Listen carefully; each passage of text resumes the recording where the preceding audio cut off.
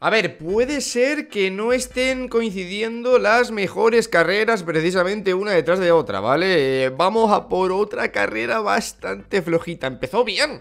El Mundial, las dos primeras carreras estuvieron bastante bien. Bahrein y Arabia Saudí estuvieron bastante bien. Pero estamos un poquito en una etapa regular, ¿no? Flojito. Gran premio de Miami. No pasa nada por decirlo. La apruebo. La apruebo por el safety car a falta de 10 vueltas del final, que alocó todo un poco y dejó su lucha por la victoria, su lucha por el podio. O sea, de repente había lucha en casi todas las posiciones. Pero, no por ello, creo que sea justo decir que es culpa del reglamento nuevo. Este mismo guion de carrera, con el reglamento del año pasado, hubiera sido mucho más aburrida aún. Al menos este año, aunque no haya tantos adelantamientos como quizá algunos esperaba que fuera a ver, vemos a los coches unos detrás de otros y cuando uno falla, el otro le adelanta, como por ejemplo le pasó a Valtteri Bottas cuando cometió un fallo, como por ejemplo le pasó a Leclerc cuando se, pasó de frenada y ya no pudo perseguir a Verstappen, como pasó en más maniobras, ¿vale? Entonces, yo creo que hemos salido ganando en general, ¿vale? Y ya sabéis que no tengo problema en criticar a la Fórmula 1 cuando, cuando se lo merece.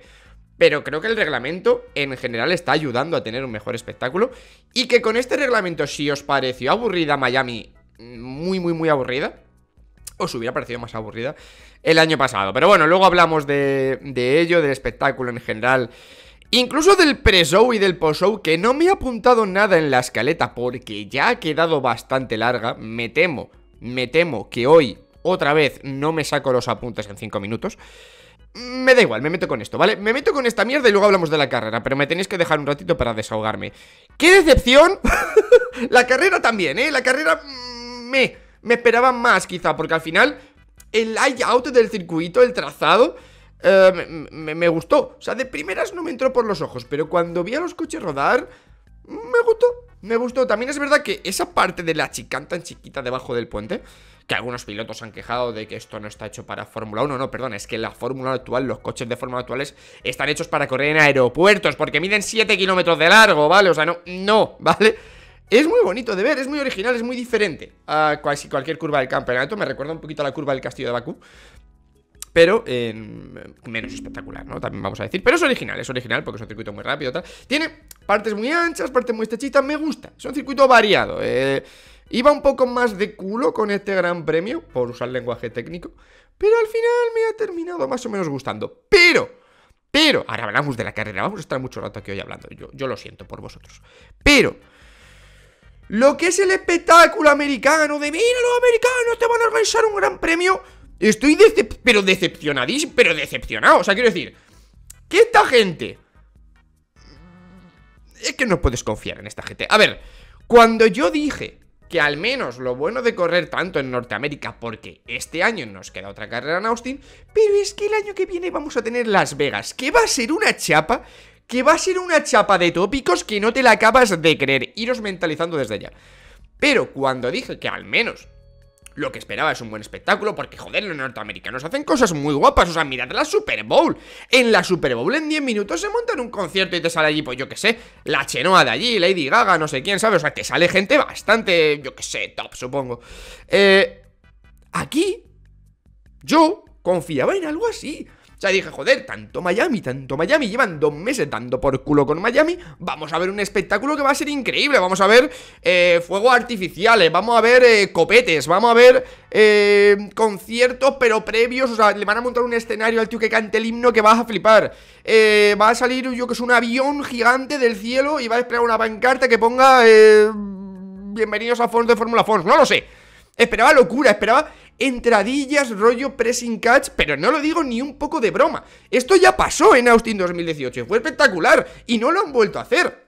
Entradillas de cada piloto dándole protagonismos a los pilotos que son los importantes Y no Beckham, vi más a Beckham que a Gasly Que tampoco le eché falta ver a Gasly Pero vi más a Beckham que a Wang Yuzu Salió más veces en plano Beckham que Wang Yuzu. Wang Yuzu abandonó el hombre al principio Pero que da igual, que no, no puede ser. No puede ser que viéramos más a Beckham que a mm, Lance Stroll. O sea, no, no puede ser, no puede ser.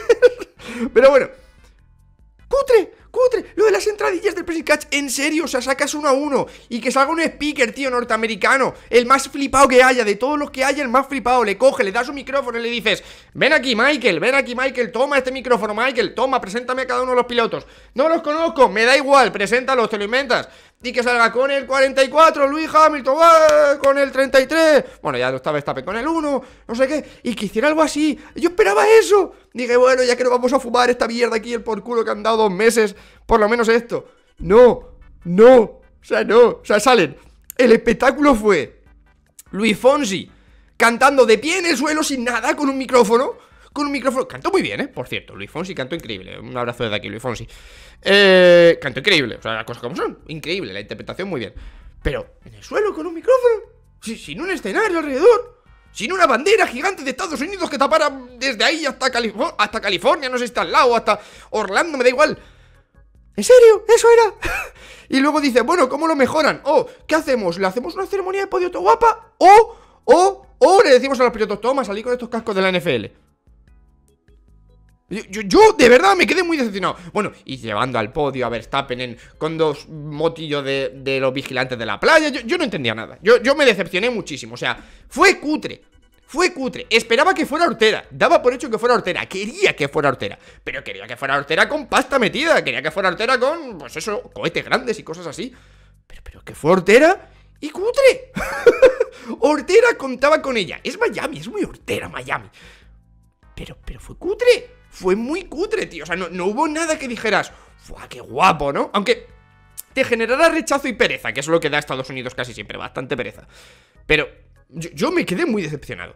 Ya está, he soltado mi chapa de desahogo con el, con, con el espectáculo. El previo, el post horrible, de verdad. Oh, mira, que, ha venido David Beckham, vamos, ha venido David. Muy bien. Y Micha Salgado está en casi todos los grandes premios. ¿Qué más me da? o sea, no, no me interesan los VIPs, quiero que me haga fantasías. No sé, espero que para Las Vegas el año que viene preparen algo chulo de verdad y no sea, yo que sé, ¿qué van a hacer los pilotos? Van a salir con eh, cartas de póker al podio. ¡Guau! ¡Qué guapo, eh! Va a salir con cartas de póker porque lo que pasa en Las Vegas se queda en Las Vegas. de verdad, cringe. En fin. Hubo una carrera también, ¿vale? Eh, hubo una carrera. Empezamos a hablar de la carrera. Perdón, tenía que desahogarme con todo esto. También os digo, se le, ha criticado muchas cosas al Gran Premio de Miami eh, a nivel de realización audiovisual. En plan de, es que los planos de los pilotos no salían y al final enfocaban a los VIPs. Esto no es culpa de Miami, esto es culpa de la Fórmula 1, ¿vale? Es siempre así. O sea, lleva, la Fórmula 1 lleva a nivel de realización de carreras demasiado tiempo omitiendo todas las cosas guapas que pasan en carrera. O sea, hubo un momento de la carrera, es que esto tampoco me apunto en la escaleta, así que lo suelto ahora. Pero hubo un momento de la carrera en el que eh, la vuelta del safety car, un poquito antes, no recuerdo mal. No, no, en la vuelta del safety car fue cuando ya, cuando ya se el safety car. Hubo un momento que entre la posición 5, ¿vale? La posición 5 y la 14 durante vuelta y media empezaron a moverse todas las posiciones así. Una puta locura, ¿vale? Que si los Aston Martin pegándose con los que si Stroll se llevó eh, a... No sé si fue Stroll con Magnussen ahí peleándose, que si la de Vettel y Mick Schumacher, luego de esa sí hablamos. O sea, empezaron a pasar un millón de cosas, Russell y Hamilton pasándose entre ellos, y no salió nada. Vimos un plano aéreo de los cuatro primeros, cada uno con segundo y medio de distancia respecto a su coche de delante. Esto lleva pasando siempre, ¿vale? No es culpa de Miami. Y esto es algo que, en serio, lo digo siempre. Da igual lo bueno que sea tu producto, si no sabes mostrarlos como si no tuvieras nada. Y esto es una asignatura pendiente de la Fórmula 1 de Liberty Media desde hace bastante tiempo. No metas tantas cámaras en los boxes para los VIPs y prepárate más planos de más pilotos y de más acción en carrera, que al final es lo que tienes que vender. Pero bueno, la carrera de Fórmula 1, ¿vale? En serio, no me enrollo más. Si el coche no se rompe, si el coche no se rompe, si el Red Bull aguanta de pie, eh, Verstappen gana, ¿vale? Es más o menos la máxima que estamos viendo este año. Digamos, cinco carreras, cada carrera que ha acabado la ha ganado. La estadística desarrolladora, si no fuera porque en las otras dos, como ha abandonado, pues no consiguió eh, cero puntos. Vivimos un guion más o menos parecido al de todas las carreras.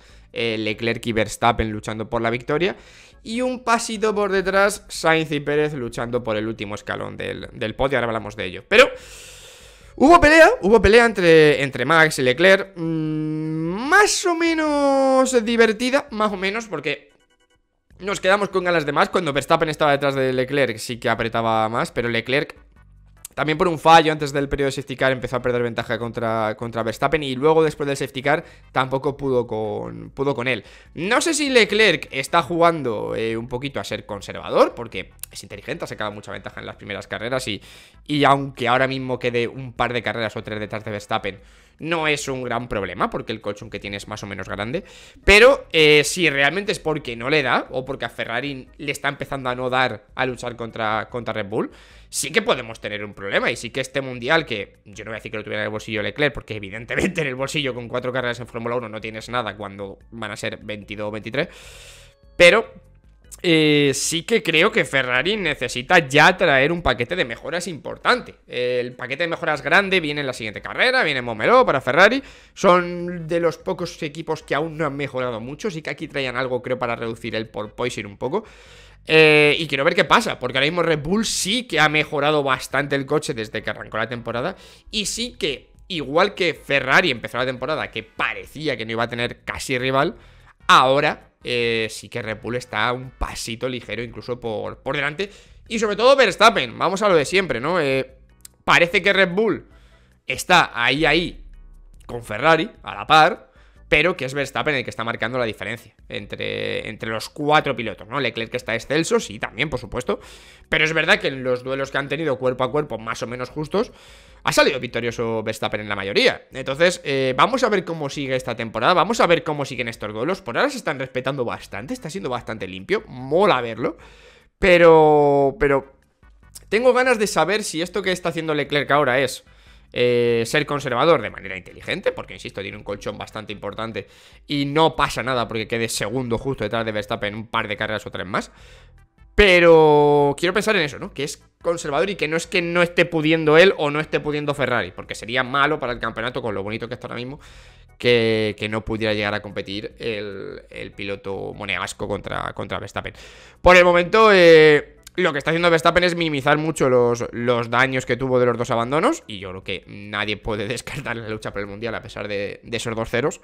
Y va a estar muy bonito. Va a estar muy bonito este, este campeonato. Vaya, o sea, no estoy diciendo nada que, no, que nos sorprenda.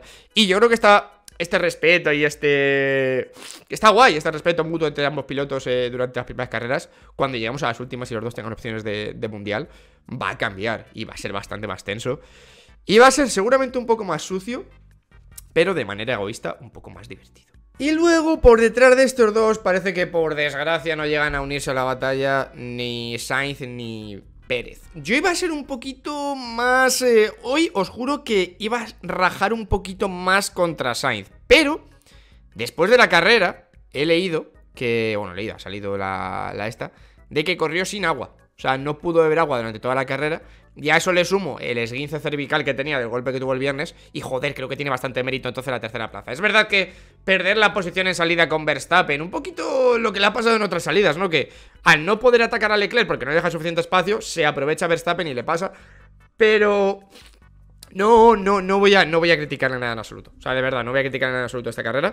Creo que le sumamos el esguince cervical, el problema de no beber agua y la parada de dos o tres segundos más de lo que debería ser en, boxes. Yo creo que ya con eso es suficiente. O sea, ya, con eso suficiente, ¿vale? para, para, bueno, de Carlos Sainz aguantar la tercera plaza. Sobre todo, aguantarla contra, contra Checo Pérez con neumático medio nuevo porque en Red Bull sí que sacaron un poquito de ventaja, al menos sobre el papel tenían esa ventaja, a la hora de parar a Checo en ese periodo de safety car y sacarle con medios eh, nuevos para las 10 últimas vueltas. Creo que tiene mucho mérito que Carlos aguantara esa tercera plaza contra Checo Pérez. Yo no le daba ninguna opción porque en más o menos igualdad de condiciones. Checo y Sainz, tal, coches más o menos parejos de ritmo y Pérez con neumático medio nuevo. Esperaba que le arrancara las pegatinas. Pero es verdad que Carlos se defendió muy bien y que cuando Checo intentó su dive bomb para adelantar a, Carlos, eh, pecó un poco de de no tener quizá paciencia para buscar la zona y eh, en las próximas, en las siguientes vueltas. Y se tiró de una manera un poco loca, un poco loca, bloqueando freno. Y Carlos lo supo esquivar, porque podían haber acabado los dos fuera. O sea, es la típica maniobra en la que no voy a decir que lo que hiciera Checo fue un suicidio, porque tampoco es justo decirlo, ¿vale? No fue, no fue para tanto, pero... Si Carlos no lo esquiva, podría haber pasado lo que pasó con, con Mick Schumacher y, y Vettel, ¿vale? Que luego hablamos de ello. Así que bien, tuvo ahí suerte Carlos, lo esquivó un poco, Checo se pasó largo y ya sí que le costó mucho recortar esa distancia. Así que no sé si es que Checo no metió en temperatura las gomas o algo así, se me hizo muy raro que no pudiera adelantar a, a Carlos, pero muy bien, mucho mérito para el piloto español. Pero bueno, por lo que sea, eh, al final eh, tercero el piloto español, cuarto el piloto mexicano y nada, eh, a ver cómo avanza este duelo. O sea, me da un poquito de pena que ninguno de los dos llegue al menos en domingo, porque si es verdad que en un sábado, por ejemplo, Checo ya consiguió una pole, ¿no? Y tal. Pero me da un poquito de pena que no lleguen a pelear con Leclerc y con Verstappen Llevamos cinco carreras y soy el primero que dice que hay que esperar, pero igual estamos esperando demasiado. Y a lo mejor tenemos que conformarnos con verlos luchar por ese tercer puesto. No lo sé, no me gustaría y creo que Checo y Carlos son dos pilotos con talento suficiente como para no matarlos en esa hipotética lucha por el campeonato. Y Pérez este año ha empezado mucho mejor que empezó el año pasado en comparación con Verstappen. Uh, Sainz por lo menos ha recuperado un poquito después de dos carreras horribles eh, con cero puntos. Ha vuelto a la senda del podio. No lo sé. Eh, me daría pena que al final se quedara en una batalla entre segundos pilotos, que estuviera tan decantado que Leclerc y Verstappen van por un lado y Pérez y Sainz por el otro. Pero a su vez también os digo que, eh, aunque no lleguen a competir por el campeonato, no diría que están haciendo una mala temporada ninguno de los dos, ¿vale? Simplemente no llegan al nivel de su compañero, pero si al final quedas justo detrás de los otros dos, no se puede decir que estás haciendo una mala temporada, ¿no? No es como eh, casos que hemos visto en años anteriores, por ejemplo con Bottas y Hamilton, que a veces Hamilton ganaba la carrera y Bottas eh, quedaba lejos porque tenía algún tipo de problema, o esos ejemplos de eh, Red Bull con Verstappen o Gasly, ¿no? En la época con Gasly, en la que Verstappen llegaba a doblar incluso a su compañero, ¿no? O sea, creo que no es eso, entonces mm, está bien. De hecho, yo creo que Red Bull y Ferrari seguramente no puedan estar más contentos que con este panorama, ¿no? Con dos pilotos muy destacados en una lucha y los otros dos en otra, ¿no? Y siempre que uno pueda colar a otro por delante del segundo y tal, van a salir más o menos beneficiados. Así que eh, yo creo que este rendimiento tan separado entre Leclerc y Sainz y Verstappen y Pérez les viene muy bien a los equipos, les viene muy bien tanto a Ferrari como a Red Bull, pero no tanto a nosotros como aficionados, que lo que queremos es, bueno, yo creo que es lo lógico, ¿no? Queremos ver a los cuatro luchar por el campeonato. Yo me gustaría que Sainz y que, y que Pérez se unieran a esta lucha, pero por el momento no está siendo así. Luego, aparte, ¿os acordáis cuando decíamos en años anteriores que a Russell le faltaba consistencia? Eh, con Williams, que decíamos que los sábados lo clava Russell, los sábados es increíble, pero los domingos se viene abajo, no sabemos si es porque el Williams es una cosa tan mala que no te la acabas de creer o por qué. Bueno, pues es oficial, era cosa del coche, ¿vale? Otro top 5, el único piloto de la parrilla que en 5 carreras ha conseguido 5 top 5, puedo decir el número 5 otra vez más, creo. Eh, y con un poquito de suerte, o sea, esto es indiscutible, que tuvo suerte es indiscutible, en clasificación quedó el 12, hay mucha igualdad este año para caer en, Q, en Q2, ¿vale? Eh, y aún teniendo un coche más rápido, pues cayó en Q2 eh, Russell. Pero luego en carrera hizo una estrategia que es arriesgada, estoy un poco congestionado, ¿vale? Si notáis que, que el ritmo del vídeo es más lento de lo habitual, porque estoy un poco congestionado. y alguno dirá, pues yo no me da cuenta, tampoco es que el resto de veces sea mucho más dinámico esto. Que lo hizo muy bien Lo hizo muy bien Russell eh, Tuvo suerte, ¿vale? Tuvo el golpe de suerte del safety car Otra vez, como le pasó en Australia Gracias a ese safety car Pudo quedar por delante de Hamilton en una carrera en la que él lo estaba haciendo O sea, Hamilton lo está haciendo mejor Como en Arabia, perdón, no como en Australia Y al final eh, consigue esa posición por delante, ¿no? Gracias a, a poder alargar el neumático duro Porque al final la carrera parecía que iba a ser en dos paradas, pero el neumático duro aguantaba muchísimo. Entonces muchos apostaron por la estrategia de una sola parada. Y Russell, aunque no era la estrategia óptima, sí que estuvo esperando y esperando y esperando y esperando. Y al final tuvo la suerte del safety car de, Norris, de Norris y Gasly, por cierto, de ese incidente. Solo comentar que veo culpa de los dos. O sea, es muy aparatoso, pero no veo que fuera ni sanción para Gasly, ni para Norris, quizá tampoco. Es un golpe un poco tonto y ya está. Eh, que al final acaba con Norris fuera y con Gasly con su segundo toque de la carrera. Y, ese safety car pues le permite parar, ahorrar tiempo y salir por delante de... Bueno, salir por, de, por detrás de Hamilton, pero con mejor neumático, ¿no? Que al final es, eh, fue la clave para que luego le ganara la, la posición. Y creo que tiene mucho mérito. Creo que la consistencia de Russell en un equipo nuevo y con un compañero como Hamilton es de aplaudir. Y para mí es uno de los hombres de la temporada. Yo diría si tuviera que destacar varios nombres de esta temporada, un poco por sorpresa, ¿eh? porque Leclerc y Verstappen son muy destacables, por supuesto, pero yo destacaría a Russell eh, como uno de ellos, y probablemente el otro sería Albon y Magnussen. Creo que son los tres nombres de la temporada, ¿vale? Más o menos podríamos, a mitad de temporada, ya sabéis que me gusta hacer siempre un poquito el top 3 sorpresas y el top 3 decepciones. Yo creo que ahora mismo en sorpresas estarían estos, estos tres pilotos. Pero muy bien, muy bien Russell y muy bien en Mercedes. Es que al final vamos a lo de siempre. Mercedes Está teniendo a duras penas en algunas carreras el tercer coche. En clasificación le cuesta aparecer. Los viernes no está ni cerca. Pero es que en carrera siempre están ahí. Y al final van sumando puntos y van sumando puntos y están terceros en el campeonato. Y yo es que estoy convencido de que nadie les va a quitar ese puesto porque tienen mucha consistencia. Quinto Russell, sexto Hamilton. Hamilton no estaba muy contento, decía que no estaba contento con la estrategia. No, macho, Luis, no pasa nada. Ha tenido más suerte Russell. Créeme, Hamilton Créeme, Luis Hamilton, si me estás viendo, que en el cómputo global de tu carrera deportiva te sigue saliendo favorable la barra de suerte, ¿vale? O sea, créeme que aunque haya habido un par de carreras en las que a Russell le ha sonrido la suerte con un safety car y ha salido por delante de ti, en el cómputo global de tu carrera deportiva sigue estando la barra decantada del lado de la suerte, ¿vale? O sea, que no te discute tu talento, por supuesto, pero que no, no pasa nada. Y me, me hace mucha gracia como no de manera directa, porque no podía decir, oye, decirle que me deje pasar, porque no tenía sentido, porque no saliera más rápido. Eh, más o menos quería hacerle la indirecta a su equipo, ¿no? De bueno, no me parece muy justo la estrategia y tal. Pero fue cuestión de suerte. Simplemente tuvo la suerte de poder alargar los duros hasta esa parada, eh, hasta que le salió un safety car. Y, salió por delante de él. Si no hubiera habido safety car, hubiera parado y seguramente hubiera quedado eh, sexto séptimo, también Russell. Por eso digo que es una gran carrera de Russell. No nos quedemos solo con el, con el factor suerte. Ya sabemos que en Fórmula 1 una parada un poco buena, un poco mala, te puede destrozar, ¿vale? Por ejemplo, hablando la de Fernando Alonso en la pelea con, eh, con Gasly. Es mala, pero no es una catástrofe porque consigue salir por delante de un grupito loco que había entre los Aston Martin y los Haas. Pero la de Norris, que es también un poquito, no recuerdo si fue un poquito lenta, eh, un par de segundos más lenta puede ser de lo normal, Sí que le metió justo detrás de ese, de ese tren, o sea, le adelantaron ese tren y su carrera se quedó ultra comprometida, más allá del accidente luego, ¿eh? O sea, ya, ya iba comprometida desde, desde ahí, ¿no? Y por eso uno estuvo en la zona de puntos, aunque cayera de ella por X razones de las que luego hablamos. Y, el otro, pues al final, bueno, acabó contra el muro, pero estaba lejos de, de puntuar. O sea que a veces eh, esos 2-3 segundos clave de una parada o de una estrategia, de tener más suerte o menos, pueden ser importantísimos para el futuro de tu carrera. Pero en el caso de Russell, incluso aunque no hubiera habido safety car, mm, del top 7 no lo hubiera bajado a nadie, vaya.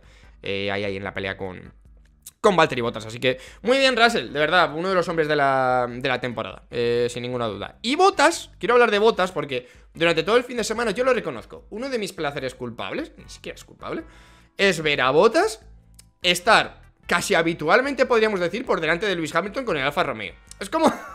es como. Ni, ni Tarantino te hace esto. O sea, Tarantino te hace esto en una, en una película y dices, no, no te estoy creyendo, Quentin, se te está yendo la flapa.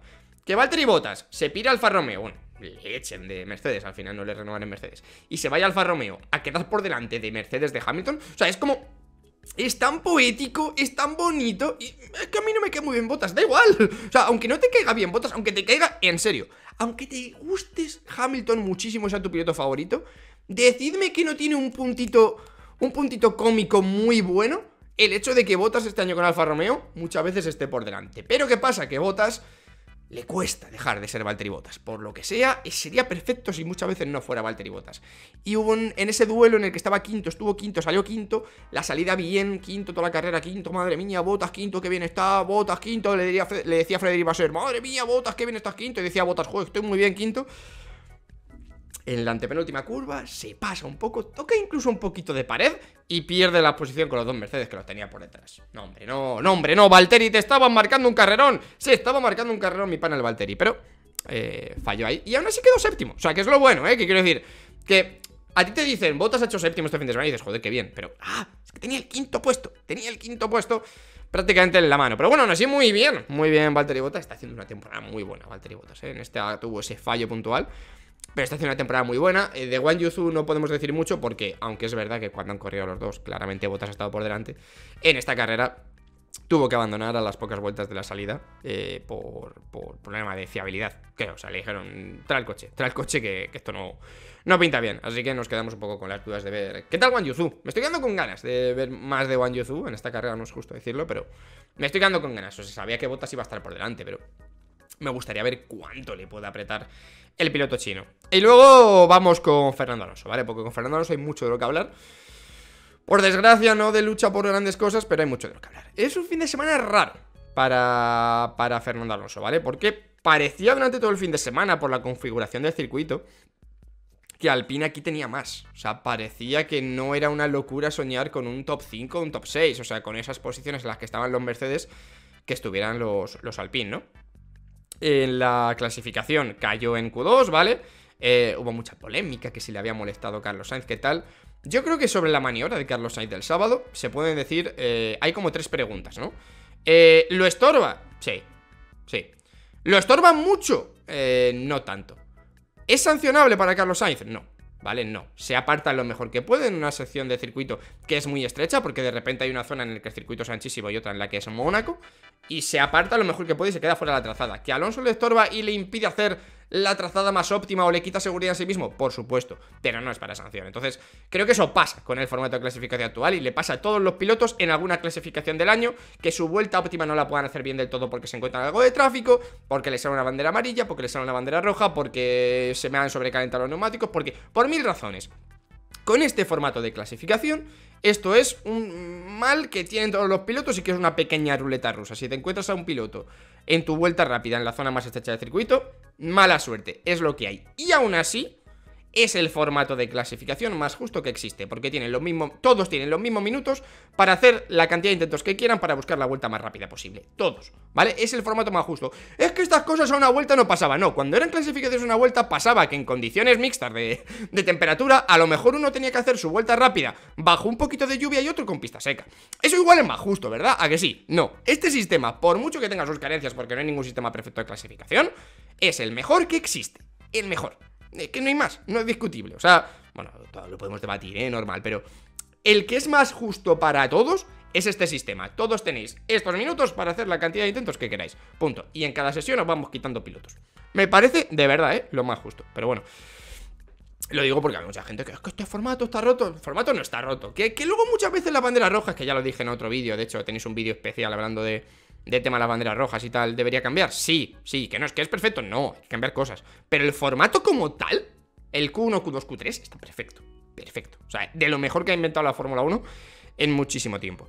Pero bueno, sobre Fernando Alonso, volvemos a él. Esto el sábado, ¿vale? El domingo sale el 11, realmente el 10, porque los dos Aston Martin salen desde. Bueno, bueno, esto no lo hemos contado. Salen desde el pit lane porque esto yo, de verdad, cuando os digo, cada vez que veis una persona que os diga que es experta en Fórmula 1, mandadlo a tomar por culo, lo. Pero según os viene, ¿eh? Según os viene y os dice, yo sé muchísimo de Fórmula 1, mandadlo a la mierda. En mi vida había escuchado.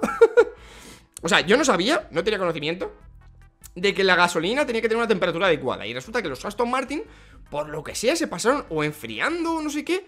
La temperatura de la gasolina 10 grados más o 10 grados menos. Es que no me acuerdo bien, pero me pareció muy loco. Y los dos tuvieron que salir desde el pit lane. Porque tuvieron que arreglar esta mierda. O sea, de repente tenían como la gasolina, no sé si más fría o más caliente. O sea, una cosa, una cosa que yo no había escuchado en mi vida. Que dos coches del mismo equipo, porque que salga alguien del pit lane por un problema de última hora es relativamente habitual.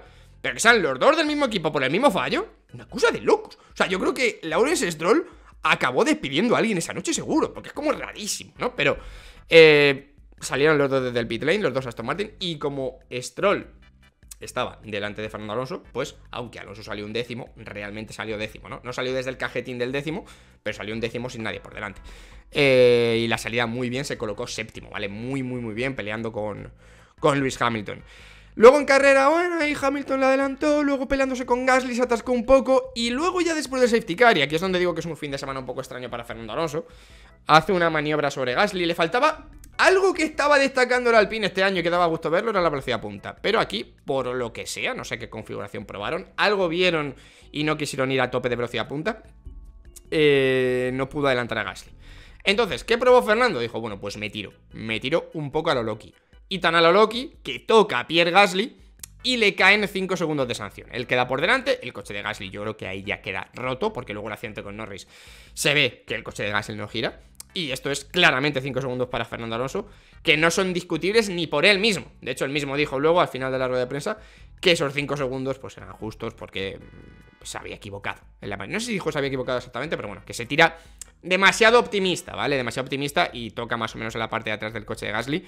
Claramente es literalmente la definición de sanción de 5 segundos, ¿vale? No pasa nada, no es una locura, pero es un error. Un error y además creo que en el caso de Miami, igual que pasó un poco con el dive bomb de Checo, pasó un problema con el circuito, que es que la zona que no era la trazada estaba tan sucia que costaba mucho que hubiera adelantamientos, porque los pilotos no se atrevían a frenar por la zona que no fuera la trazada, porque estaba sucia y el coche pues se controla peor. Y creo que por eso vimos, por ejemplo, lo que le pasó a Checo, que se pasó larguísimo, esta maniobra de Fernando también, y otras pocas que vimos, ¿no? Luego hablamos de la de Mick Schumacher y Vettel, esto es un escándalo. ¿Por qué? Porque esta sanción de 5 segundos, insisto, es indiscutible. O sea, ya está, no se puede discutir. Es 5 segundos oficiales, ¿vale? Es que no me cae nada bien Gasly, me cae muy bien Fernando Alonso. Da igual. es indiscutible, son 5 segundos.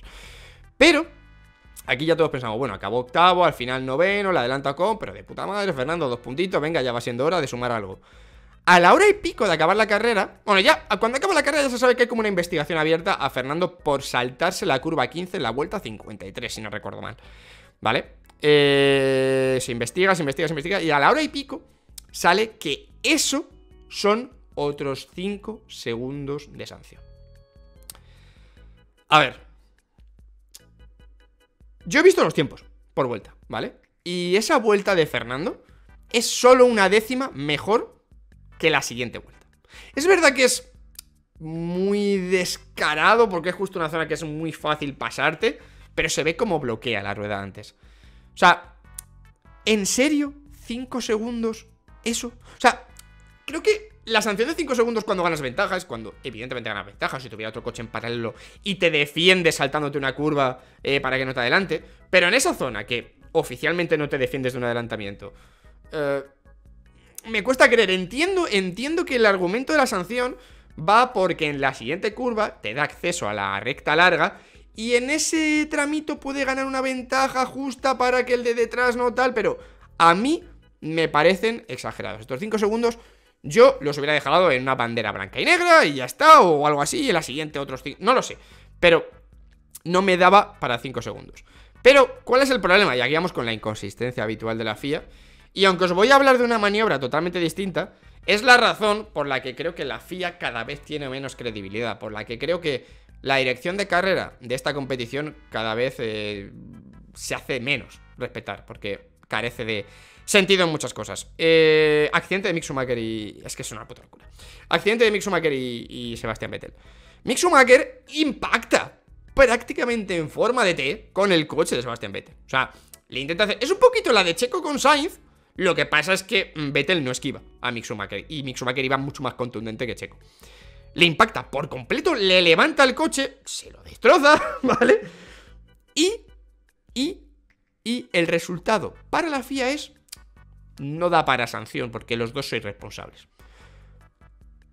Yo os juro que se puede debatir todas las acciones en pista y todo tiene muchos puntos de vista, pero si veis las imágenes de este accidente, de verdad, pocas veces diréis, es tan evidente que es responsabilidad de uno de los dos, o sea, pocas veces creo que hay menos margen a debate que en este. es tan evidente que es Schumacher el que se pasa y el que tira a la basura sus primeros puntos con Haas, porque esta es otra, en un fin de semana que estaba muy bien Schumacher, que estaba por delante de Magnussen incluso, va y tira sus puntos a la basura por esto. Tío, ¿De verdad? Que es que lo impacta, que es que lo levanta del suelo. que no. O sea, ¿en qué momento dice la FIA? Nah, esto es que es de los dos. Esto es culpa de los dos. Entonces nos sancionamos. No tiene sentido. ¿Y por qué lo comparo con lo de Fernando Alonso? No tiene ningún sentido la comparación, esto es lo primero, ¿vale? Pero hablo de inconsistencia. ¿Qué sentido tiene meterle a un piloto 5 segundos extra de sanción por saltarse, ganar quizá 10 metros de curva, ¿vale? ¿Y qué sentido tiene que un impacto en el que provocas el abandono de tu rival y tuyo también al final eh, se quede sin nada? al final es la, historia de siempre, insisto, las maniobras no son similares, por supuesto, no, no quiero decir que eh, si esto no se sanciona tal... No, sea, creo que lo de Fernando no era sanción y creo que esto sí era sanción, aunque no tenga nada que ver. Pero que vamos a lo de siempre, no tiene sentido... Eh, no tiene sentido la decisión de los comisarios muchas veces. Y a mí me duele. Me duele porque eh, al final pierde credibilidad la competición. A cualquiera que le cuentes que eso de Fernando Alonso tiene 5 segundos y lo de Mick Schumacher y Vettel no tiene nada, te va a decir quién dirige esto. ¿Qué clase? O sea, ¿quién es el director de carrera? ¿El del Mario Kart? O sea, la Kitu, la Kitu, que nadie le respeta la Kitu. ¿Es esto? O sea, ¿qué está pasando? Pero bueno. Fórmula 1, amigos, al final Fernando queda fuera de puntos, que ya ves tú, que a mí, o sea, a nivel personal, que a mí que gane Fernando Alonso dos puntos o cero me la pela. O sea, quiero decir, a nivel personal, no creo que Fernando Alonso. Y a Fernando Alonso seguramente se la pele también bastante. Entre dos puntos y nada, que le dé casi igual. Pero eh, es un poco mala suerte otra vez, ¿no? Ahora sí que es un poco de, mala suerte, al final queda el 11. Me alegro mucho por Albon, que queda noveno, al final ya había quedado décimo, pero queda noveno. Me alegro mucho por Albon, de verdad, o sea, mm, me, me gusta que Alex Albon vaya, vaya sumando puntos, porque parece un pilotazo. Y, Fernando pues se queda, se queda fuera de la zona de puntos. Por cierto, hablando de... Mira, lo bueno de, de haber grabado estos apuntes al día siguiente es que lo bueno de veces de grabar los apuntes al día siguiente y no según acaba la carrera es que puedes leer más radios, más cositas y enterarte algunos detalles que te hayan pasado por, alto. Empezó a salir la noticia después de la carrera de que el ingeniero de Ocon le había pedido a Esteban que intentara abrir ese margen de 5 segundos eh, entre él y Fernando para ayudarle porque tenía sanción de 5 segundos y que los dos pudieran puntuar, ¿vale? Ocon al principio se niega, cosa que me parece normal, pero después lo hace. Después lo hace y después va midiendo para que Fernando tuviera la ventaja justa para él adelantar a Fernando, lógicamente al final su interés es quedar por delante de Fernando, pero que a Fernando no le adelanten el resto. Y lo consigue, porque al principio Fernando queda noveno y Ocon queda octavo. Entonces, Quiero decir que mm, le han caído muchas críticas a Esteban Ocon porque se ha negado, se ha negado, se ha negado. Eh, escuchar la radio completa de Esteban Ocon, ¿vale? Al final acepta hacerlo. O sea, es lógico que la primera reacción de un piloto sea decir, no me hagas ir más lento, joder, que me van a adelantar. Es lo más normal del mundo. Ocon este año no estaba demostrando ser el mejor compañero del mundo por cosas como las que vimos en Arabia Saudí, pero cuando lo hace bien se dice y punto. Y ahora mismo hay una corriente de, de criticar a Ocon por algo que no ha hecho. Y es importante que antes de que critiquéis ya no solo a un piloto de Fórmula 1, ya no solo una actitud en Fórmula 1, cualquier cosa en la vida, es muy importante que antes de que lo critiquéis, os informéis. Porque podéis caer en la mentira de otra persona y en un relato que no sea real. Por mucho que os guste, por mucho que os apetezca rajar de Esteban Ocon, en un argumento que no sea real. podéis comer una historia que no sea real. Y en este caso, Ocon, aunque no le hizo mucha ilusión aceptar esa orden, lo hizo lo hizo y de hecho consigue que Fernando quedara noveno, porque iba con 5 segundos de sanción. Así que... Eh, es importante, o sea, podéis criticarlo con después y decir, ah, pero es que se niega de primera, vale, lo que quieras. Pero que sepas lo que ha pasado. O sea, yo te he contado lo que ha pasado. ¿Tú ahora quieres criticarlo con? Me parece perfecto. Eh, yo le criticaré cuando lo considere oportuno. Pero lo que ha hecho es, me parece normal. Primero, negarse o no recibir de buen grado que te digan deja distancia con tu compañero porque no es agradable cuando sobre todo mm, no tenía un ritmo muy, muy diferente. Pero si le vas a criticar, eh, informaos bien de lo que ha hecho, ¿no? Yo si quiero criticar a alguien me intento enterar bien de lo que ha hecho, no lo que me ha contado alguien por encima y ya está. Eso es importante, ¿vale? Yo os lo, lo recomiendo. Pero no lo apliquéis solo a la Fórmula 1, aplicadlo a la vida, ¿vale? En general. O sea, no os quedéis solo con este consejo aquí en las carreras. Es un consejo importante para todo antes de criticar algo. Yo a veces me equivoco, ¿eh? Yo soy el primero que a veces se equivoca y se deja llevar un poco por... Es que he visto todo rápido y me he calentado y lo he dicho y... Soy el primero que a veces se calienta un poco. No soy perfecto, ¿vale? Pero intento cada vez corregirlo más. A veces pasa, ¿no? Te te puede ves un titular y dices, ¡vamos! ¡Vamos! A la hoguera. Pero a veces hay que calmarse. Calmarse es buenísimo. Y luego, ¿qué más detalles hay? Es que pasaron muchas cosas en esta carrera. O sea, al final, no sé qué pasa, pero en las carreras más sositas es de donde más mierda saco para hablar. Eh, duelos entre los Haas y los Aston Martin que fueron bastante divertidos, la verdad. Eh, lo de la cafrada de Mick Schumacher contra Vettel, lo tengo ahí apuntado. Eh, una pena por Mick Schumacher porque está haciendo un buen fin de semana y va a sumar sus primeros puntos en Fórmula 1. Pero por Cenutrio los perdió. Literalmente. Ah, y lo de dirección de carrera que os he dicho me parece escandaloso en este, en este aspecto.